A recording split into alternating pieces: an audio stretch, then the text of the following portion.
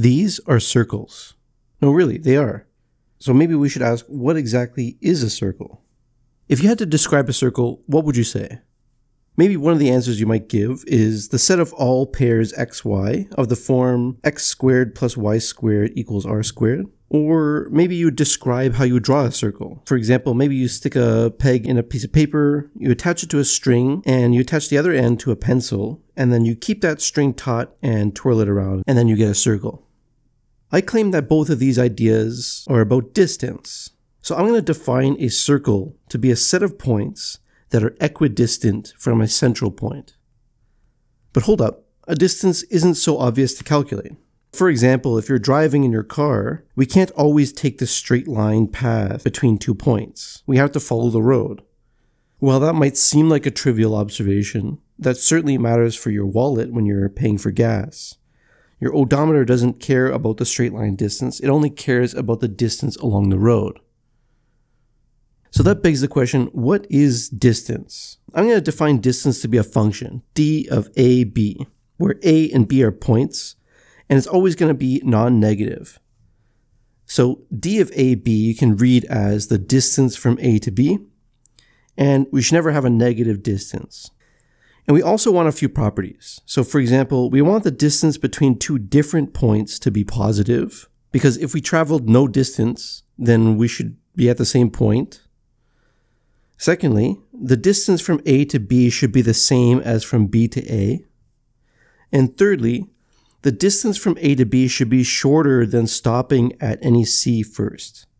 So the straight line distance from A to B should be at most as large as the distance from A to C and then from C to B. So these properties define a distance or what we call a metric. Mathematicians like to formalize this and they give the following definition. A metric space is a pair xd where x is a non-empty set and d is a function that takes in two points in x and gives a non-negative real number, such that for all x, y, and z, so for any three points, we have that the distance between x and y is zero if and only if x equals y. So that's our first observation. That's the first property that we wanted. Two, the distance from x to y should be the distance from y to x. And three, the distance from x to y should be less than or equal to the distance from x to z plus the distance from z to y. So this last property is called the triangle inequality. The second property is called symmetry, and the first property is called positive definiteness. Okay, so let's see some examples. So we usually calculate the distance via the Pythagorean theorem. So if I take two points on the plane, let's call them x1, y1, and x2, y2, then we can draw a straight line between them, and we can form this right angled triangle. And the side lengths are going to be x2 minus x1 and y2 minus y1. So an easy application of the Pythagorean theorem says that the distance, and I'm going to give it a d subscript 2 for reasons that you'll see soon, between those two points is going to be the square root of x2 minus x1 squared plus y2 minus y1 squared. With this distance, we can define a circle of radius r centered at 0, 0 to be the set of all xy such that the distance between xy to 0, 0 is r, or that's the same thing as the square root of x squared plus y squared is r, or we can rewrite that as x squared plus y squared equals r squared. So this is our usual circle that you would expect. Okay, but what about our car distance? So let's suppose that we can only travel north-south and east-west on the plane. So we can't go diagonally. So then between two points, x1, y1 and x2, y2, we can only travel in these straight orthogonal lines. One such way would be going straight east in this case and then straight north. We travel x2 minus x1 east and y2 minus y1 north. And actually you can see that no matter which other shortest path we take with this condition, we get the exact same distance. So in particular, the distance, I'm going to call it d sub 1 between x1, y1 and x2, y2 is the absolute value of x2 minus x1 plus the absolute value of y2 minus y1. Okay, so what does a circle look like with this distance? Well, again, it's all the points that are equidistant from 0, 0. And in this case, we get the absolute value of x plus the absolute value of y equals r, which is this diamond shape. And I encourage you to check this for yourself, for example, on a graphing calculator. Okay, I want to make a slight generalization here. So why am I calling it D1 and D2? Well, notice that D1 has this pattern.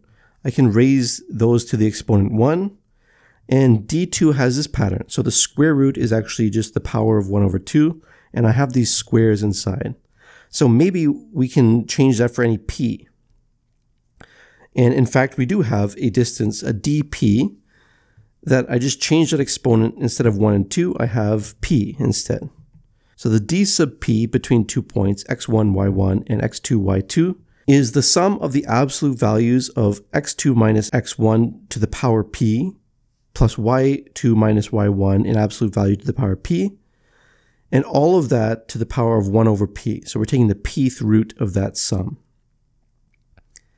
Okay, well, if p is between 1 and 2, then the circle kind of just looks like a fatter diamond. And if p is larger than 2, then the circle kind of looks like a rounded square. And in fact, we can let p go to infinity, and we do have a d sub infinity. And the circle that we get is actually a square. So I'll leave you on one thing to think about. Can you guess the rule for calculating distance in this space with this d infinity that gives us a circle that's exactly like a square? There is a relatively nice rule for it. These distance functions aren't just curiosities. Actually, mathematicians actively study distances like this.